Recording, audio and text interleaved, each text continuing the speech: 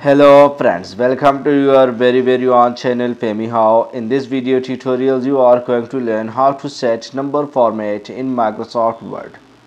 Friends to change or set the number format in Microsoft Word for the number list simply highlight the number list or place precursor where you want to start a new list and then friends in the home tab on the ribbon click numbering drop down arrow. And then from here. You can see some predefined numbering formats.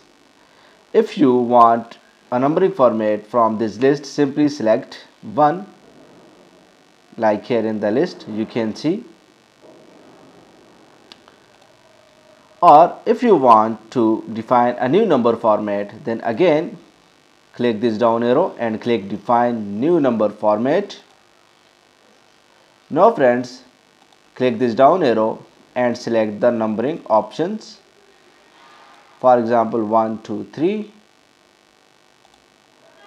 Arabic numbers or Roman numbers. If you want to change the bracket to full colon semicolon or like click ok. You can see the number format has been changed and applied. So friends, I hope you have learned the way to format numbers in Microsoft Word. If my video helps you in anyone in any way, please subscribe my channel and hit the like button. Thanks for watching. Thanks for your time. Take care. Goodbye.